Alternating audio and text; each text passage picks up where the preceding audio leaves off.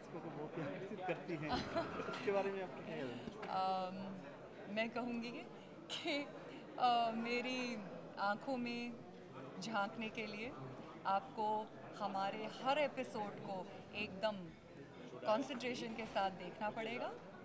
Rose Monday to Friday हम आ रहे हैं आपके टेलीविज़न स्क्रीन्स पर कहानी चंद्रकांता की में तो आइएगा और झांकिएगा इन्हीं आँखों में। पुराने में और आज में क्या डिफरेंस मानते हैं? शूटिंग पहले भी होती थी अभी भी है। तो उसमें आज में क्या फ़र्क है? सब चीज़ें बदल चुकी है। हर चीज़ नहीं सेट नहीं। नहीं बिल्कुल नहीं मुझे बिल्कुल फ़र्क नहीं सिर्फ़ आप नहीं बदले।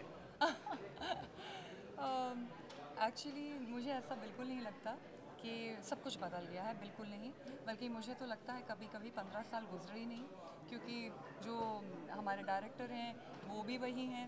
कई तो प्रोडक्शन मैनेजर भी वही हैं और कई आर्टिस्ट भी वही हैं। सिर्फ़ पंडित जगन्नाथ जो हैं, यानी राजेंद्र गुप्ता जी, वो भी वही पुराने वाले हैं। तो कभी तो मुझे ऐसा लगता है कि वो पंद्रह साल गुजरे ही नहीं।